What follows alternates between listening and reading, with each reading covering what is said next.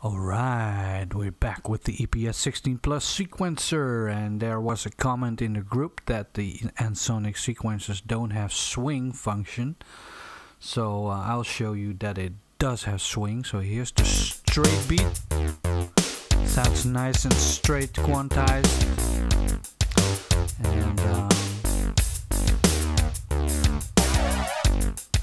so um, we have a bass and a snare hi-hat, shaker, uh, a synth sound and a bass sound.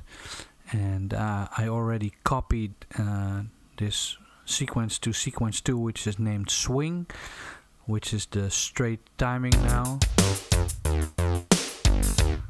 So we're gonna transform the bass and the snare. We're gonna quantize the bass and the snare. Uh, so I do command track and then quantize track and we're gonna quantize the whole track to 16th triplets. You would not expect it but this is the result. Hold on. Alright that's swinging. That's swinging. So let's do the same thing for the hi-hats. So we're gonna command track quantize track to 16th triplets entire track yeah, that's a keeper. That's a keeper.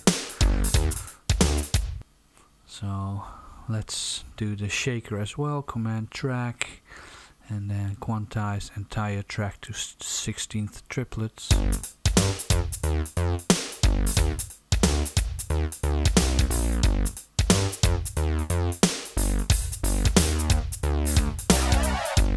So another nice trick you can do is uh, shift tracks by clock. So we're gonna shift the uh, hi-hats uh, forward by two clocks. So we're gonna do uh, the command track and instead of quantize we're gonna do shift track by clocks and we're gonna shift it forward uh, backwards just two clocks so it's faster uh, I believe that's right, so I'm going to keep it. We're going to move the shaker back just by one clock.